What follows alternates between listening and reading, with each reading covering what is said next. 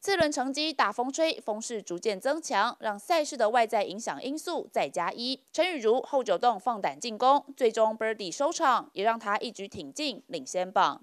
其实我打起来差不多啦，因为呃感觉没有太大，只是今天的推杆特别好，然后因为看的线都比较呃就是都看得到线，然后也都照了力道对的话都照了意思走，然后我觉得说。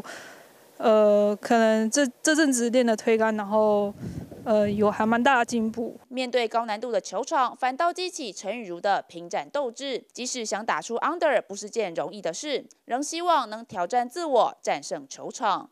对这个球场，我觉得我还蛮兴奋，因为特别的难打。那我当然希望可以挑战，就是呃。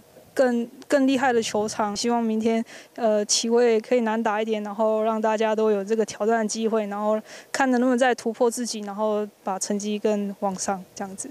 明日除了公开组最终轮激战，长春邀请赛也即将登场，微服的差距让战况更加紧张，持续锁定博斯高球二台，一同见证冠军的诞生。